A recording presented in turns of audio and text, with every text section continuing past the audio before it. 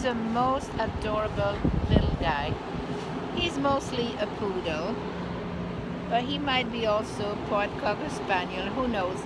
He's so clean, he's so well groomed, he's so fluffy, he's a real little cloud. Oh my gosh, I, I cannot let him go. I cannot let him go.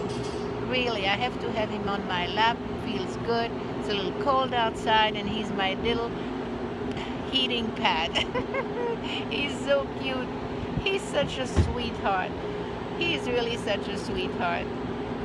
I don't know his name. I forgot his name, unfortunately, but I will make sure to find out because he is the best.